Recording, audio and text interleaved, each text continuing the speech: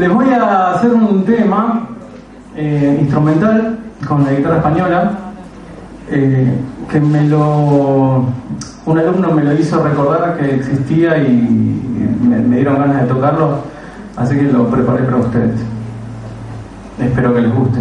Después les digo de quién es.